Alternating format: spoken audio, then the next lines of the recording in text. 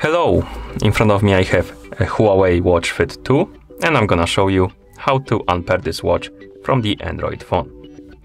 First we need to open the uh, Huawei Health application on the phone that is paired with our watch. In the app we need to tap on the devices icon, select our Watch Fit 2 from the list of devices, then tap on the icon right here in the top right corner, tap on unpair device and tap on unpair.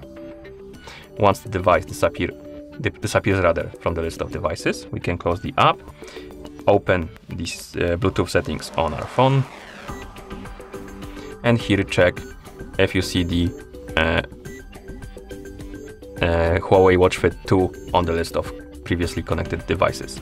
As you can see on my phone, it's not here, but if it was here, uh, tap on the uh, settings icon next to it, tap on forget and tap on forget device to confirm. And once you do that, your watch should be completely unpaired from your phone. And that's how you unpair this watch from the Android phone. Thank you for watching. If you found this video helpful, please consider subscribing to our channel and leaving a like on the video.